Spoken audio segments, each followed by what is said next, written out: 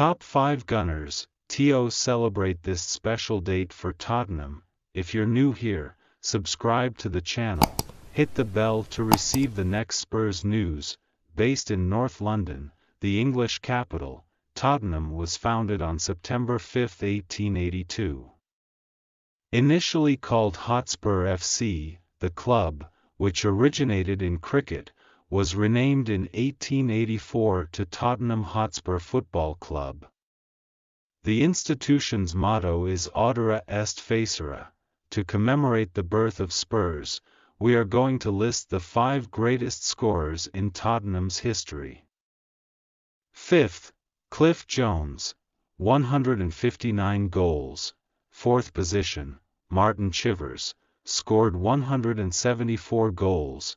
Third place, Bobby Smith, scored 208 goals for the Spurs' incredible mark. In second position, very close to reaching the reign of Tottenham's greatest, Harry Kane, 252 goals. more in the first position with the honor of being the best scorer in the history of Tottenham. Jimmy Greaves, he scored 266 goals. Of these players, the second place on this list is the only one that is still active. Do you think Harry Kane will become Tottenham's all-time leading scorer? Don't forget to like and subscribe.